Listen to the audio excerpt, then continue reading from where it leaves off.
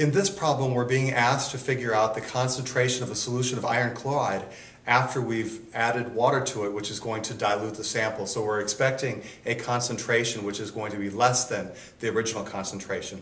The first step that we always want to use in solving a problem like this is to identify our variables, both known variables and the unknown variable.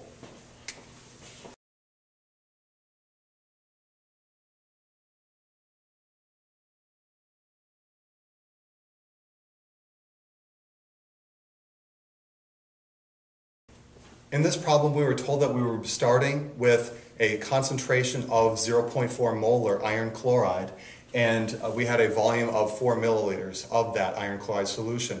We're told that we're going to dilute that iron chloride by adding additional water to a total volume of 10 milliliters. The thing that we're trying to find here, our unknown variable, is what is that new molarity going to be after we've diluted our sample. In order to solve this problem, we're going to need to apply the equation m1v1 equals m2v2.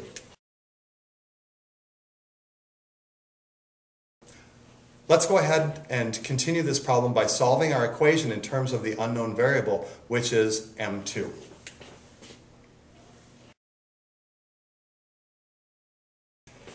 We can see that dividing by v2 allows us to solve for m2. That will be m1 v1 divided by v2.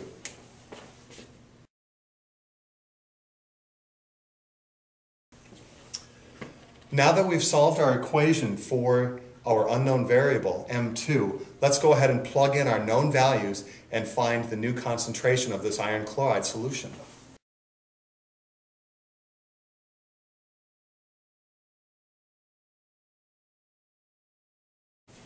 We can see that units of milliliters is going to cancel here and here.